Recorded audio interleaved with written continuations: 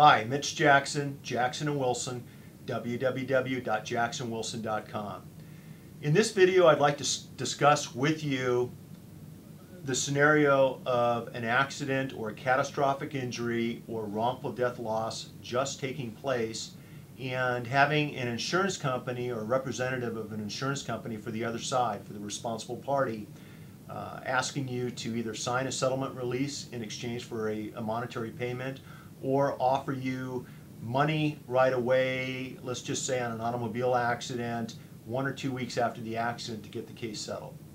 Generally, all the above is a really, really bad idea, and let me tell you why. With any type of catastrophic injury or wrongful death, it's very, very difficult to determine what the extent of the injuries are until, until time passes. In a personal injury case, somebody may feel that their knee was injured in an automobile accident, and as time goes by, as weeks or months go by, they may find out that they've got a herniated disc in their back, major neck injury requiring surgery. There's no reason why you want to settle these cases quickly. You only want to settle the case once you have a full understanding of what the extent of your injuries are. The insurance companies know that. That's why the insurance companies have been known to appear in a hospital room asking someone to sign a quick release in exchange for a payment. Okay? They understand that if they're able to get you to sign that settlement release under most circumstances, the case is done you've waived any future rights you might have in the future. So we always tell our clients to be patient and not and not participate in any early settlements until they have a good grasp on the extent of their injuries and what their out-of-pocket expenses are and what future medical bills may be. It's just not a good idea to settle a case quickly, especially in a catastrophic injury or wrongful death case. A couple of other things you only want to settle the case once you have a good understanding as to what insurance benefits are available to you. We've had clients uh, approached by claims adjusters representing that there was only $100,000 in, in insurance available to cover a claim.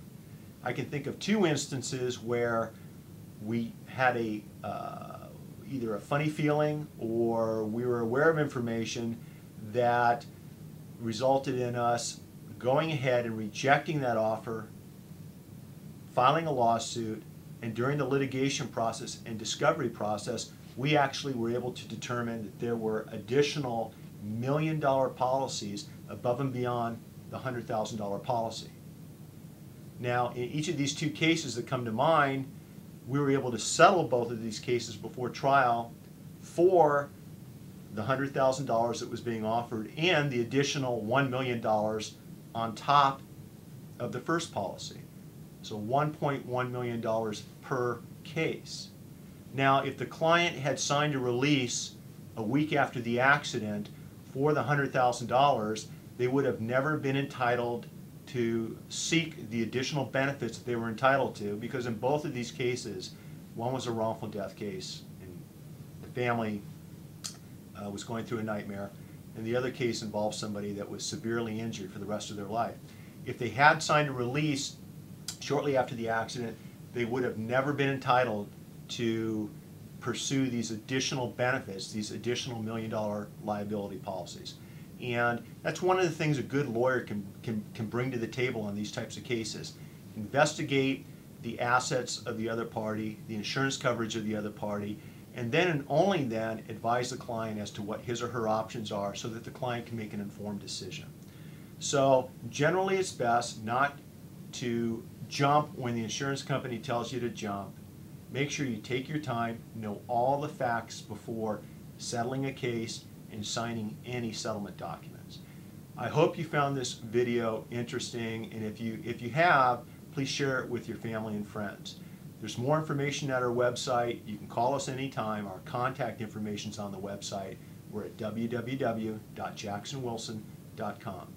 Have a good day and remember to make today your masterpiece.